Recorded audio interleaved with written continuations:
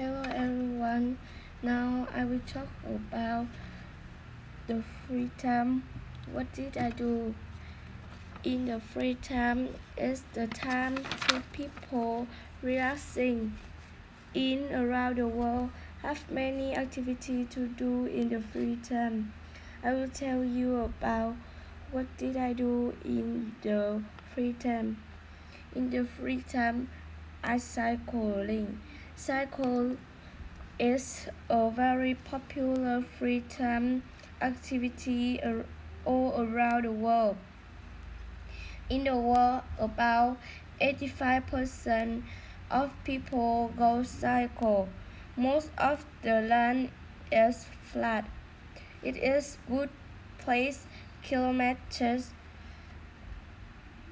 It is good place to cycle.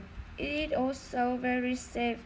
There are 17 kilometers of cycle plan and most of the time car wait the bicycle.